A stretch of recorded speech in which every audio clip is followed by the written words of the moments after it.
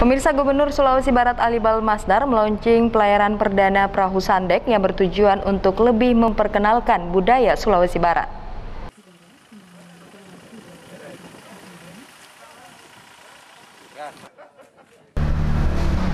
Selain meluncing, Gubernur Sulawesi Barat Ali Balmasdar bersama rombongan juga melakukan pelayaran perdana perahu sandek dari Pelabuhan Lanal Mamuju menuju Pelabuhan TPI Kasiwa Mamuju.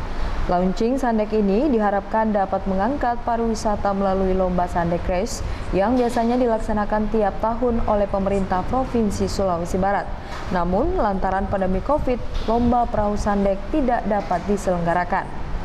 Gubernur Sulawesi Barat Ali Balmasdar menyampaikan perahu Sandek merupakan salah satu kapal yang sangat tangguh di tengah lautan dan mencerminkan filosofi orang Mandar yang gagah berani mengarungi samudra.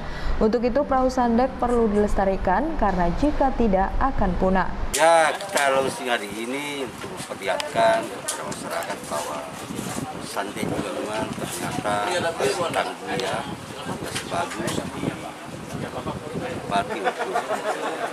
di untuk wisata, budaya, dan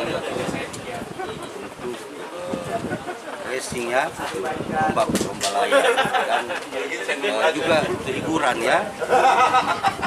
Diketahui perahu sandek saat ini mulai punah di kalangan nelayan, sedangkan perahu sandek merupakan salah satu ikon Sulawesi Barat yang menonjol di kancah mancanegara. Sandek bahkan dinilai sebagai perahu tercepat di seluruh dunia. Dari Kabupaten Mamuju, Abdul Jalal, iNews melaporkan.